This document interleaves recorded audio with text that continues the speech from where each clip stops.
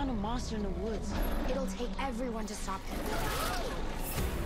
You haven't been acting like yourself, Rick. It was an accident! Cameron, I am so sorry. Who killed my father, Courtney?